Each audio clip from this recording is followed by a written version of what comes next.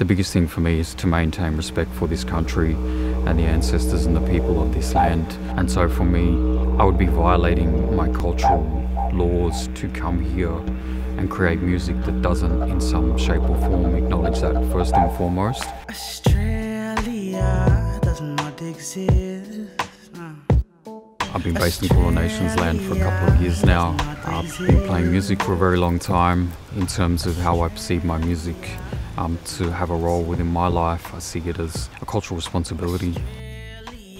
In my own experience, I feel that there is quite a significant gap between Indigenous and non-Indigenous artists.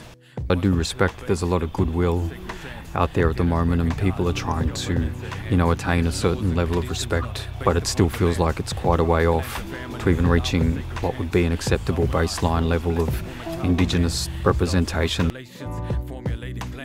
The impulse that for me it comes from my ancestors to continue to um, practice culture in some kind of a way. Um, certainly for me music is the way that I'm very drawn to more than others.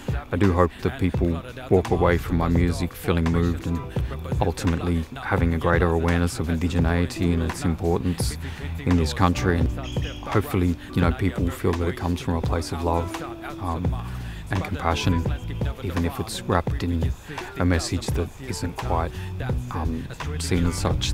That's what you know I've always been taught as an, an indigenous man who was I'm raised by his mother is just give.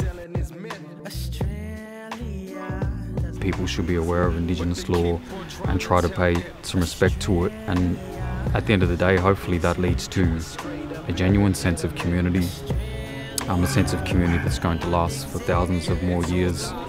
Hush, don't make us sound nothing but savages. We'll show them how they're supposed to live, and if they don't assimilate, I guess we'll have to demonstrate our superiority in every single way